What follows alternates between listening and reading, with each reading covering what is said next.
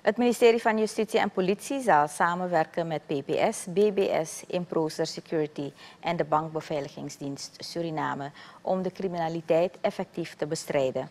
Juspolminister ad interim David Abiamofo zegt dat dit een pilotproject is. Na de pilotperiode zal het project geëvalueerd worden en mogelijk uitgebreid worden met andere beveiligingsbedrijven. Natuurlijk uh, is KPS bezig intern met uh, nieuwe lichtingen. Uh, maar zoals ik eerder heb aangegeven, criminaliteit is niet alleen, sorry, het bestrijden van criminaliteit is niet alleen politietaak. Wij hebben als samenleving, wij hebben als burgers ook uh, de taak om een bijdrage te leveren waar dat mogelijk is. En in dat kader hebben we gemeend als regering om in het urgentieplan anderen te betrekken bij de bestrijding van criminaliteit. Krijgen deze beveiligingsdiensten ook de mandaat om criminelen te arresteren? Um, het gaat om uh, signaleren op dit moment en rapporteren.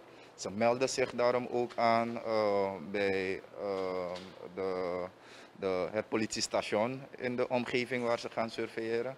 En ze worden gekoppeld aan een bepaalde politiefunctionaris. Abiamofo zegt dat het ministerie vooruitlopend op de wettelijke regulering van deze sector gekozen heeft voor deze twee bedrijven. We zijn niet over een nachtijs gegaan, we hebben geen natte vingerwerk gedaan. Er is een gedegen onderzoek en screening vooraf gegaan, benadrukte hij. U opereert onder gezag van de politie en op de eerste plaats een signaleringsfunctie. U signaleert en rapporteert aan de politie, die dan de nodige maatregelen treft.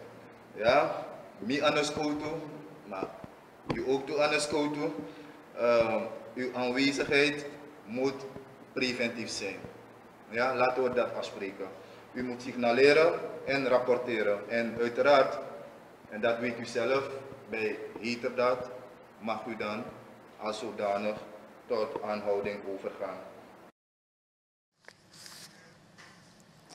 Tot slot zegt de bewindsman dat dit project helemaal in lijn is met de aanbevelingen van de United Nations Development Programme, UNDP, en de Caribbean Human Development Report.